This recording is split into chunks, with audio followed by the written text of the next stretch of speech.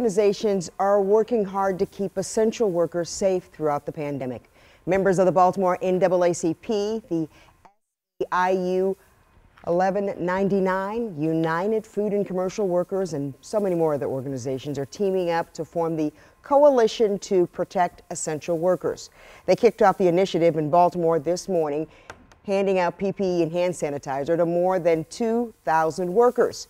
The coalition is backing the Maryland Essential Workers Protection Act. It requires employers to provide workers with safe workspaces and PPE and emergency pandemic action plans that include sanitation protocol. Our members have been called to the to the front line to face the challenges that the pandemic has has presented us with and while the employers are doing what they can to provide safer working conditions, there's always more that can be done. And we are not seeing that level of support from all of the employers.